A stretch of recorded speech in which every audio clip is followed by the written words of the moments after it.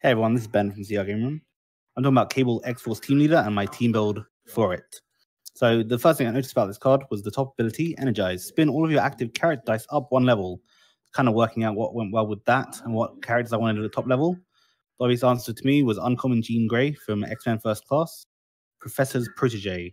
So when Jean Grey is active, when an opposing character die is fielded, dealing damage equal to her, her level. So this works well if you can get it to level three, because you're doing three damage every time your opponent fields a character.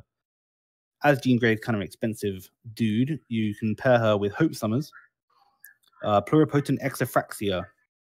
When she's fielded, you can copy Jean Grey, and then you suddenly have a two three cost on level three that's dealing three damage to your opponent each time. The second thing about Cable is his secondary ability, obviously.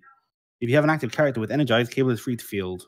I was looking through cheap Energized characters and I came across Psylocke Reforming X Force. So when she energizes, she can field a psychic die from your use pile.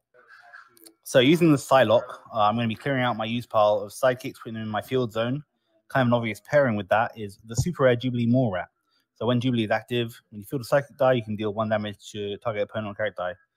This again works super well with the Hope Summers, so you can get them both out, get some Psylocks going, and now you're doing two damage per psychic you field, which is really strong. If I'm having all these sidekicks and level three characters out using Cable and Psylocke, I thought the obvious answer for some ramp is Power Almighty. So this is from the Justice set, and I think it's the only non-X Men thing in my whole build. Uh, but you get to spin each of your character dice up already. If they can't be spun up, you get to prep a die from your bag. So you can prep a whole ton of dice using this Cable Psylocke Power Almighty combo. It's kind of an expensive combo to get started. Uh, what with a couple of four costs in your team, the Cable and the Power Almighty to buy off the bat.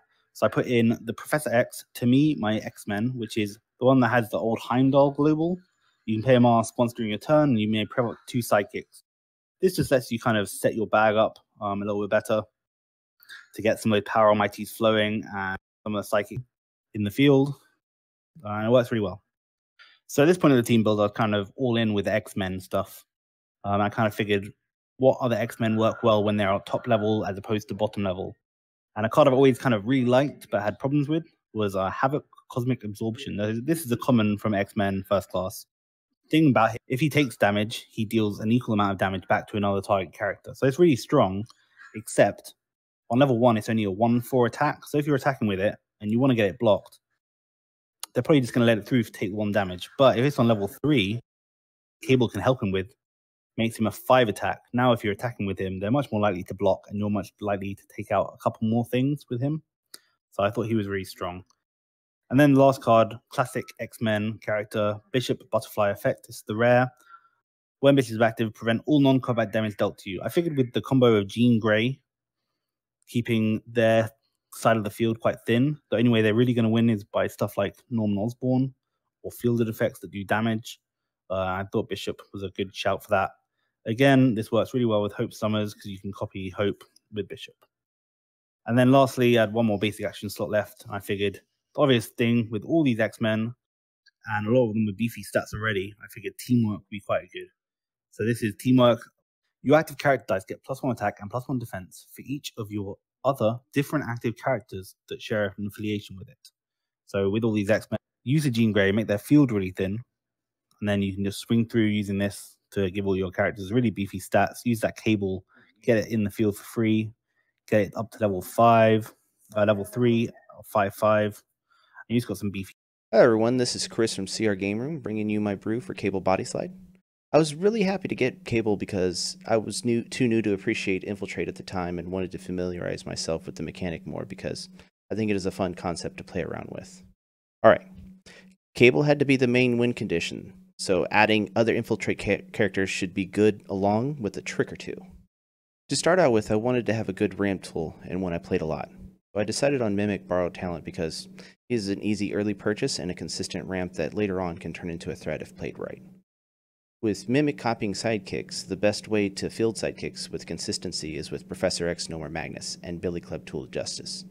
These two cards with Mimic can make it to where you can play all your dice every turn if done correctly, and if an interruption is done, you can still do a decent amount of, ramp or bag thinning. The thing this team is kind of weak against is Green Devil Mask, Lesser Trap, and Blanking, of course. but mostly the uh, Green Devil Mask because I think a wall of characters is needed. Blob Appetite for Destruction is a flexible blanker and Green Devil Mask tool. And also for my last non infiltrate spot, the team needs some early bag fixing. And the card that fills uh, that need nicely is Create Food and Water. This basic action helps filter what you pull out, but also helps you field a sidekick, which also is a good ramping tool later on and helps finish. Now for the cards that make it an infiltrate team. First off, to fill a low drop and help with mask for Mimic, I put Dani Moonstar Cheyenne. She is a two cost infiltrator with low fielding cost, and the art is just cool to me. Next, I added uh, Black Widow Spider's Bite to increase infiltrate damage. Few turns with her can mean game over for your opponent. The last optional character I put on the team should be no surprise. It's Angela Hunter of Demons. She turns infiltrate into something that is hard to deal with because the team cannot be blocked, making it easier to trigger infiltrate. If you would have lethal with combat damage, you can use Odin's Fury Global to remove Angela after blockers are declared. Yeah, your team is swinging through for unblockable damage.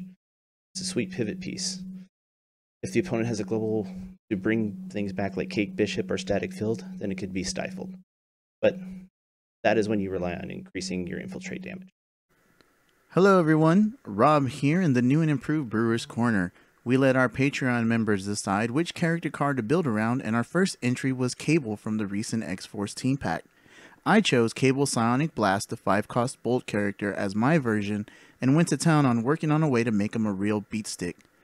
Disclaimer this is by no means a competitive team, but it does seem like a lot of fun. Before I talk about how this build makes him a monster, I wanted to cover some of the support pieces on the team. First off, let's start with some ramp. I went with the classic trio of Mimic, Borrow Talent to copy sidekicks and prep dice whenever a sidekick is fielded. Professor X, No More Magus for the global ability to field me some of those sidekicks. Also, since I got my hands on the animated series version, I thought it would be a nice touch. Uh, and Billy Club, Tool of Justice for some of that sweet, sweet spin down action to make some masks. Uh, all the ramp will make it easy to purchase cable faster if we have to do a hard buy, but why do that when we can get them for cheap? I have Kree Captain Warmonger on the team as a cheap buy with nice stats, but more specifically, the global ability essentially makes Cable a three cost character. I mean, why pay full price when you have a nice little coupon?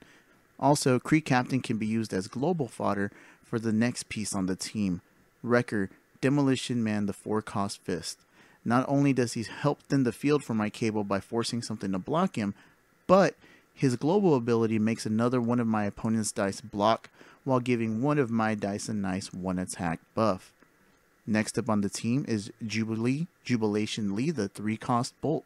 She is here to add some extra pink damage when attacking with Cable since she does 1 damage to your opponent for each other attacking bolt character die, which Cable is. Let's talk about Cable himself. He does damage equal to his level to each character die blocking him. We need to be able to push damage over the weakened blocking die. In comes Haymaker. This will give Cable plus 3 attack and Overcrush. Not only that, but we can use the global to pump him up. For this team to do max damage, we need our opponent's field to run thin so we can push as much damage through as possible. Hello, trusty friend Green Devil Mask Lesser Trap. This, along with Wrecker, should help free up some of those pesky blockers. Speaking of pumping and removal, our last card on the team is Confront the Mighty. We can utilize this basic action to raise Cable's attack and instantly remove a blocker. Something like, I don't know, a rare blob maybe? In that scenario, Cable can get up to an 8-5. I wouldn't want to take on that Psionic Blast. Well, everybody, that's my Cable team. Again, this isn't going to win you any WKOs, but I hope you find it fun and interesting. Let us know what you would have done differently with this team or any of the teams mentioned in this video in the comments below. If you're interested in submitting a card for Brewer's Corner, you can join our Patreon to expedite any card suggestions you have for us. And as always, thanks for hanging out. Bye. That's going to wrap things up for us here in the CR Game Room. Check out our website, crgr.rocks, for all our latest info. There you'll find a link to help support us via Patreon. Follow us on Facebook and Twitter. Join our conversations on Discord. Be sure to like and subscribe. And as always, Thanks for hanging out.